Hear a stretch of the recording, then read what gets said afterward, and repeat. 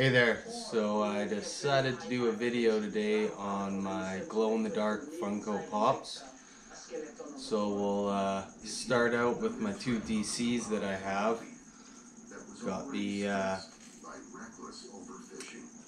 Shazam. On this one, unfortunately, the only thing that glows is the little lightning bolt on his chest. So I wouldn't consider this one a great glow-in-the-dark Funko Pop. But my other DC Funko Pop, Swamp Thing, is a uh, much better glow. His whole uh, body, where it's green, all glows. I'd consider this one one of my favorite glow-in-the-dark pops. Next up, we've got Electro from the uh, Amazing Spider-Man.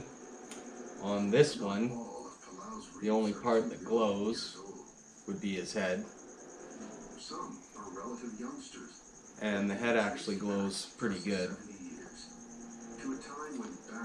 Next up, it's Hydro Man. This guy glows really good too. I like the glow on this one.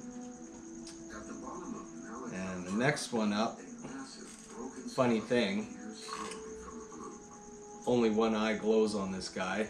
I got him in the package, and I'm pretty sure both eyes are supposed to glow. But for some reason, I've got one that only one eye glows, so I consider him very rare. and after that, we've got the vulture where all the uh, pretty much lime green area on him, so his wings, hands, claws, eyes, and I'm pretty sure the face part glows too. Can't quite remember.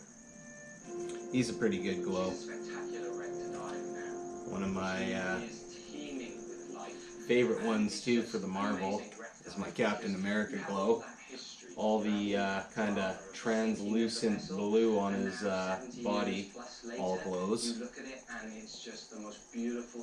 Another really good glow one is my uh, Black Panther. All the uh, blue area glows on this one. Next up after that would be my King Groot from Contest of Champions all the uh, red and orange area glows on this guy. After him,